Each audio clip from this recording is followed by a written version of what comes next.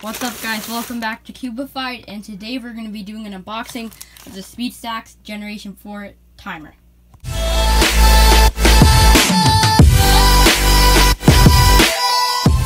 Just get into the least exciting thing.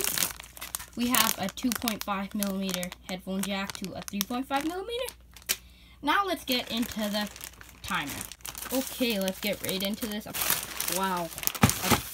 This Oh, that's actually hard to open. Anyway, we have the mat with cups because it was just a better deal if you bought cups as well. And the timer. So we'll just get into these things right now. First, let's check out these cups. I'm not really sure what to expect.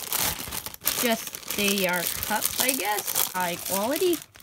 They feel good, I guess but I'm not going to be a speed stacker, so those aren't too important. Before we get into those timers, these are, I'm not even sure what this is. You just put it in the top. Let's get into this mat. Nothing really special in here. Just a little logo. Well, this is actually really big. feels really good, actually. It feels high quality. Little nubs are really nice, actually. It's a little bit smaller than I thought because I thought it was going to be super duper big, but this is actually a really nice size. Let's actually just get into that timer. Most excited for the timer. Ooh, the G4 timer. Go, and I'm assuming that you just put it on here. Not, I haven't played with a timer like this before, but seems like that's how you do it. Yep, really sensitive. That's actually really good. Who wants to see me do some cup stacking? So this is going to be really embarrassing, but Let's just try a cup stack thing. Oh, I'm so bad at this. I've never even tried it before. Oh.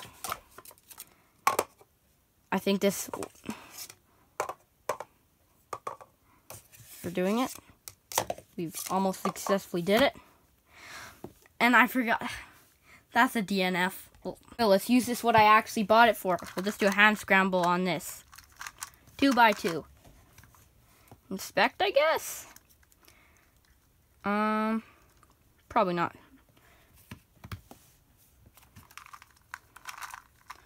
Oh, I haven't practiced 2 by 2 in a bit, so I'll be pretty rusty.